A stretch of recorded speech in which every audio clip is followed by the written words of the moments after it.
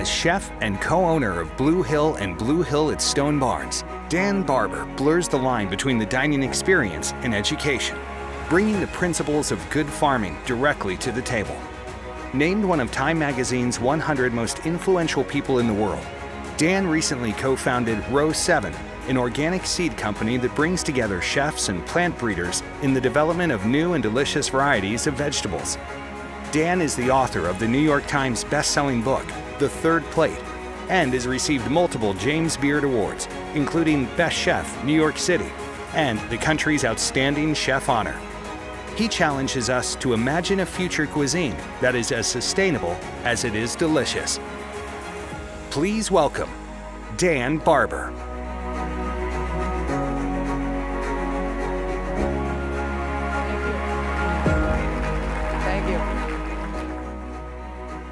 I had an experience 10 years ago that I'm not going to forget. Uh, I had a visit from Chef Alain Ducasse to my kitchen. Have you heard of Chef Ducasse?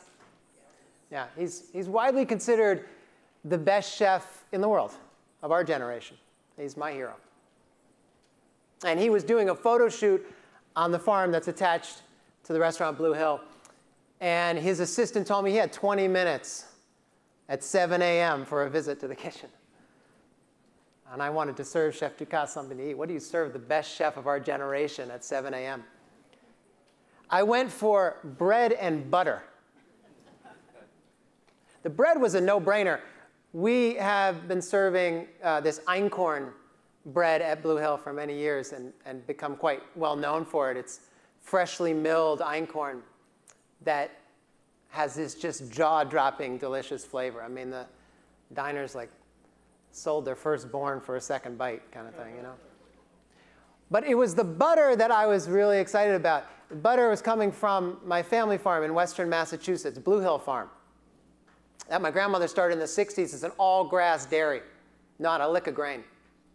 And I thought with the pasturing protocols we had put in place, it was producing some of the best milk and cream and butter I had ever tasted. And I wanted Chef Ducasse to taste it and, and love it. And there he was in the kitchen, 7.05 a.m., spreading the butter on the freshly baked bread. Now he took off his glasses and he looked at the, the bread and butter and tasted and closed his eyes. Some kind of like ratatouille moment, I think. He had grown up on a dairy farm in France, and, and he knew his milk, knew his cream, knew his butter. And he took a bite. It, I felt like it lasted like an hour, you know. And when he opened his eyes, he looked at me and he said, Great. You know how when people say great, they don't really mean great? You know, you know, like, how was your meal? Great. No, it wasn't. You know, so I, I didn't take, I, I pushed him. And, and I thought to myself, why not push him? Here I am alone with Ducasse at 7.07 in the morning in my restaurant. When am I ever going to have him again? And I want to learn from him, this, this hero chef. So in my, my most polite, awkward French, asked him, Chef, you've been the greatest inspiration for me and all these other chefs, could, on and on. Could you tell me what you really think about the butter? And again, he said, no, delicious. I pushed again and again. And after about two minutes of exchange, he finally said, I have a, a question for you. Has it been raining often at your farm in western Massachusetts the last couple weeks? Turned out to be a very smart question. Because on an all-grass dairy, if it's raining a lot, you're washing out the grass and washing out the milk and ultimately the flavor of the butter. And in fact, the last couple weeks have been torrential rainstorms. It had been during Hurricane Irene. Crazy amounts of rain. So the dude could taste the weather.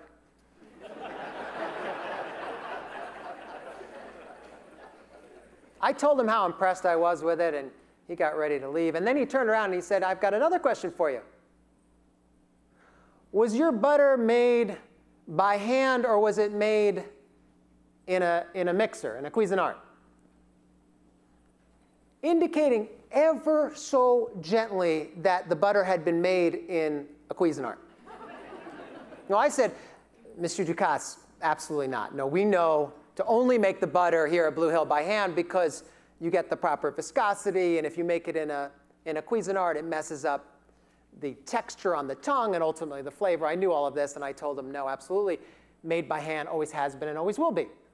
And he said, almost apologized for even insinuating otherwise. Put on his coat and got ready to leave. And he got the door and he turned around kind of Columbo style and said, I got one last question. He said, Were the cows grazing near the barn or were they grazing in a field far away from the barn? I didn't even know that was a question. but since I always saw the cows right next to the barn at Blue Hill Farm whenever I was there, I just immediately said, no, no, no, the cows were grazing right near the barn. And he said, oh, thank you, He shook hands, and he was off.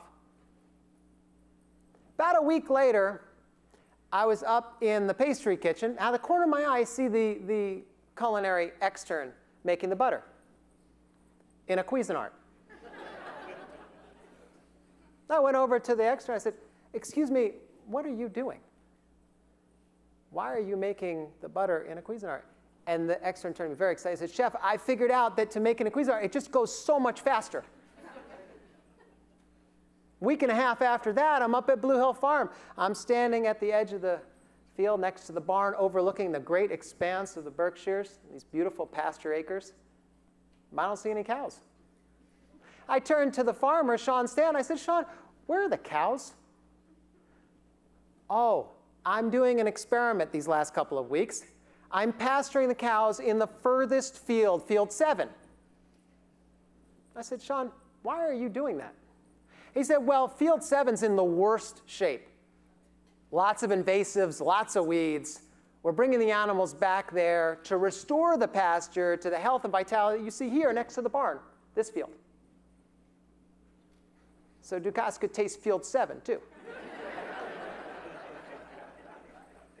I left that meeting with Chef Ducasse. I think it changed my, there's sort of a before and after for me in my life as a, as a cook. Not, not because I wanted to be Ducasse, he's a Jedi. I'm not going to be a Ducasse.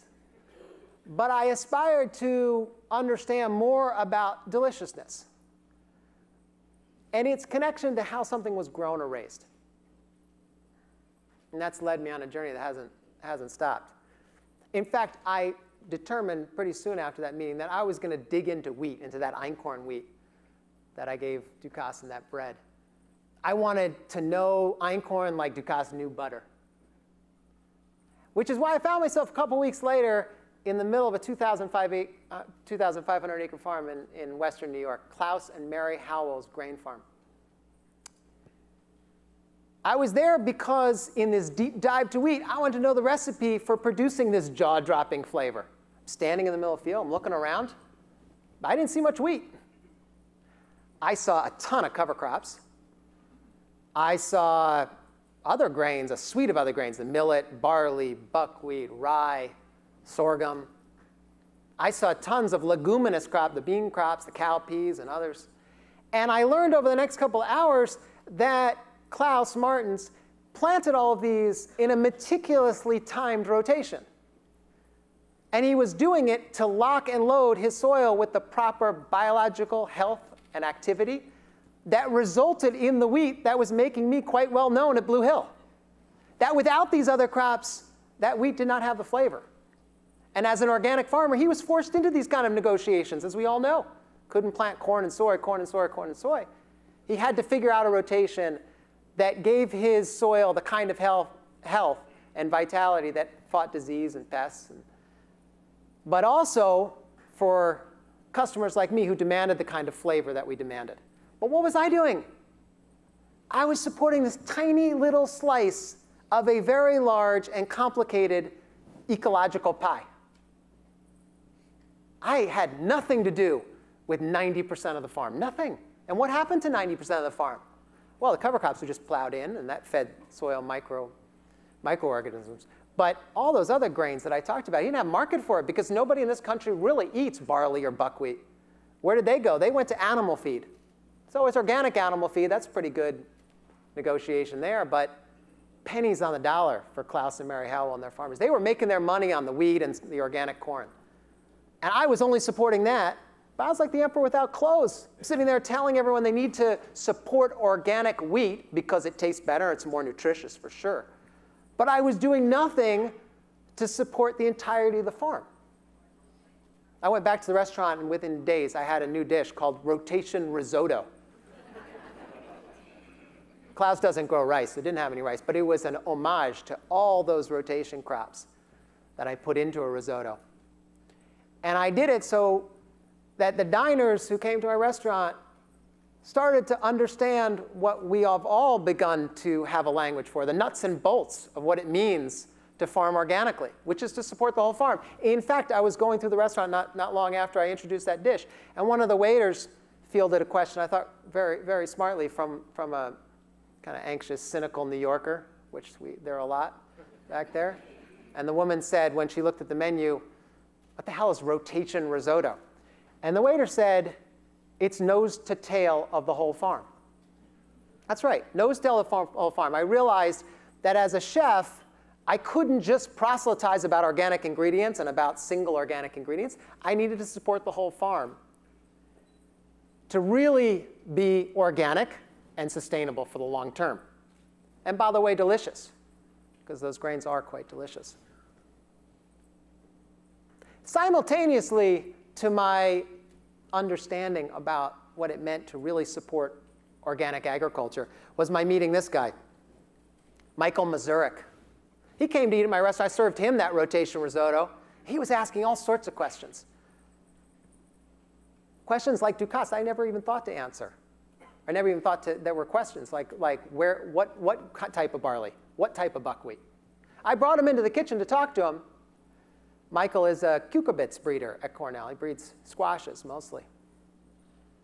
And so I said to him, sort of jokingly, it was late at night, and I kind of just messing around with him. I, I, I looked at him, I said, you know, if you're, you're a squash breeder, why don't you, sorry, why don't you, why don't you take a butternut squash which one of my cooks was prepping for a soup the next day. I said, why don't you take that squash, butternut squash, why don't you actually make it taste good?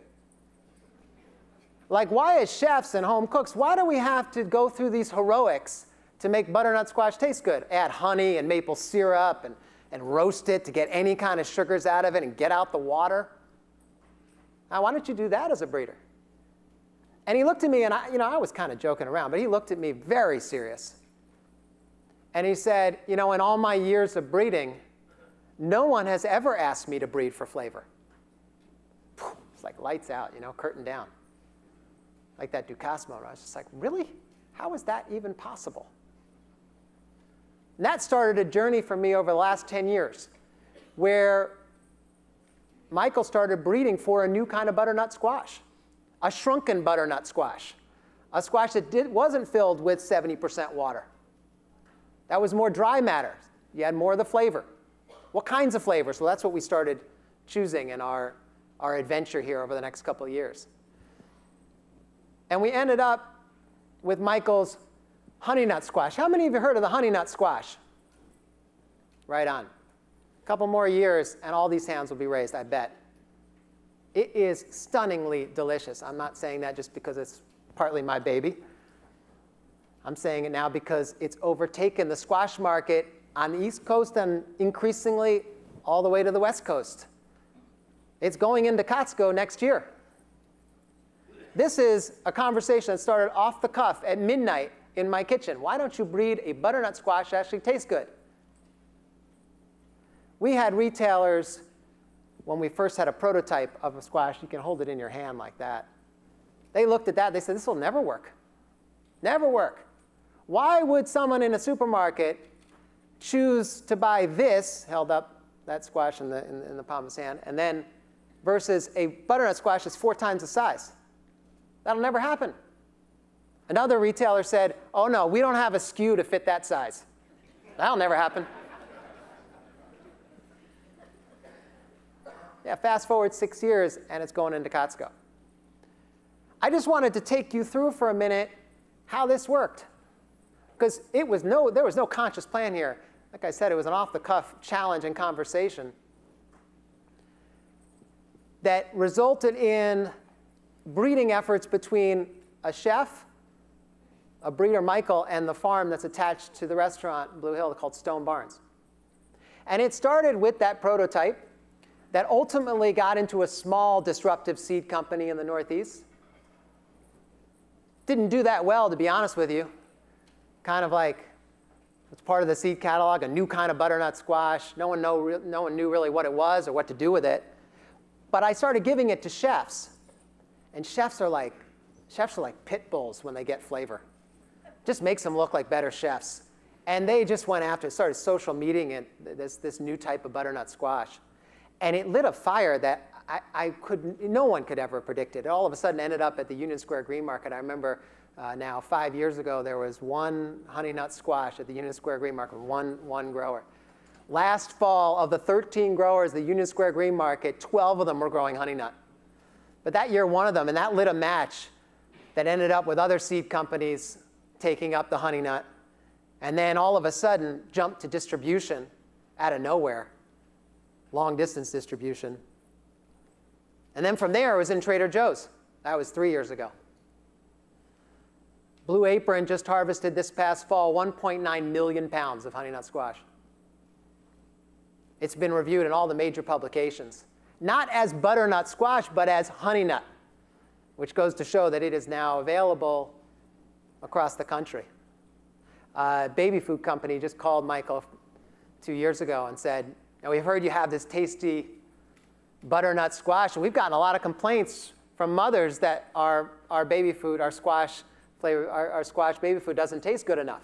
Do you have, can, can we use it? Michael said, of course, gave it to them. And they had this industrial machinery that, that crunched the squash. It didn't work. They called Michael. They said, I'm so sorry, your squash is delicious, but we're locked and loaded into our industrial machinery. We can't use your squash. We have to go back to our butternut squash. Michael, being Michael, took two years and now has a prototype of a squash with a triple thick skin, kind of like armor, that fits the industrial machinery. That's being introduced next year with new improvements. There's a, an oilseed company next door to this industrial complex. They heard about all this influx of new delicious squash. They tried, they test drove the seeds, realized it made the absolutely most delicious oil. I've, I've had it in my kitchen. It's, I think ultimately it's going to replace olive oil for me. It is so awesome. So they're going into production based on the increase in production for this new kind of squash in a squash seed oil. That all just stemmed from one conversation, and then I, I, there's no money invested here. I didn't invest any money. I don't make any money from this. We just brought this into the market based on flavor. And by the way, one other thing I left out of this this thing called the ripeness indicator. This I had no idea about, and Michael didn't tell me until late inning, late inning revelation. The squash on the left, well, that's butternut squash. That goes from that ripe color to ripe color right away. Uh, it looks ripe no matter what. Actually, it's still green in the field. They pick it green. And then it's stored, and it ripens in storage a bit. The honey nut squash, and maybe the secret sauce to its success, is that it doesn't turn color until it's actually ripe on the vine. It's called a ripeness indicator. Michael bred that in in this classic breeding trick that, that, that is totally possible and totally cheap. But it requires the consumer now to notice that they're not going to eat an immature butternut squash. They're going to want to eat the mature butternut squash. So the grower can't really pick it until it's mature. And that neat little breeding trick just doubled the carotenoids tripled the overall nutrition of our butternut squash overnight. Just that trick alone. You're actually eating ripe squash. Last I checked, butternut squash is a superfood. I don't know what you call this honey nut squash, a super duper duper food. Simply by shoving out a bunch of the water, concentrating the flavors, delivering on the deliciousness, and as we know, deliciousness and nutrient density are the same thing, one and the same thing. To have nutrient density is to have flavonoids, to have flavonoids to have flavor, period. You can't get flavor without nutrition. You can't get nutrition without flavor. Nice correspondence for a chef who's in pursuit of good flavor, and all of us who are in pursuit of deliciousness. Last year, we started that seed company I was mentioned before. It's called Row 7. And it's an attempt to pull into the marketplace deliciousness. And it's to do it for organic farmers. Because what was missing from Klaus's, Klaus Martens, the grain farmer's brilliant methodical rotation of different grains were grains that actually tasted good. That barley and that millet and those, all those other grains that he was growing, most of them went to, to bag chicken feed and bag pig feed because there was no market. But the flip side of it, there's no market because those grains don't actually taste that good. And they are bred for pig food. As I've now discovered with this launch of the seed company, all these grain breeders, they're breeding for animal feed. They're not breeding for human feed. It's incredible that we are, when we go, when we are being told to eat more whole grains, like barley, like buckwheat, like millet, and yet we are eating the offshoot of, of animal feed. So the question for this company, the question for all of us as we move forward and desire to pull organic agriculture more into the mainstream, increase that 1%, which is inevitable, we have to eat the whole farm. And part of doing that is making these varieties more delicious. I was, I'm, I'm, asked before this conference again and again, what is, what's the future? There was an executive from a, from a major retailer who turned to me on a panel the, not that long ago and said, what are the issues that I'm going to be dealing with? Why don't you tell me now so I'll know in a couple years what, what, the, what the consumer wants? And I'm saying to all of them the same thing I've been saying now since I've had this experience with honey nut squash. The future is going to be based on deliciousness because consumers are becoming way, way too educated not, not to have it move in that direction. And we started the seed company to breed for that kind of flavor, to breed for regional organic food systems, regional organic food systems, to eat the whole farm, different grains, different vegetables, different roots, different legumes, that express themselves most deliciously, most nutritiously in a regional context. And our hope for the future is that we will think about this subject, some of the weighty issues that were talked about earlier this morning, and the pursuit of pleasure and deliciousness as one subject. And I encourage all of you to look at uh, the future of organic from a regional uh, specific context because I see the, the, the breeding work that goes into different regions that are so diverse and so specific that we should be looking at what is it that the South is looking for in a particular squash, which is what we're doing, taking that honey nut squash and now breeding it specifically for southern climates versus the Pacific Northwest, versus Southern California, versus the Midwest. And instead of a one size fits all approach, which will never work, dumbs down genetics, dumbs down the opportunity of the farmer to make an actual profit. Can we think about breeding these delicious, nutritious varieties of vegetables and grains for the future, which people want more of and which people will want more of because they're more delicious? Can we breed them for specific regions? And can we use the power of chefs to help curate those varieties? That's the challenge, and I look forward to coming back to visit this conference in the future uh, and applaud your work, because as was said earlier today, I just want to underscore that. It was said to me while I was sitting down here, organic was the original disruptor. I love that line. That's right. And as it has become more mainstream, we ought not to lose that kind of energy and enthusiasm and dig deeper into the themes and, and ideas that will change the world one seed at a time. Thank you very much.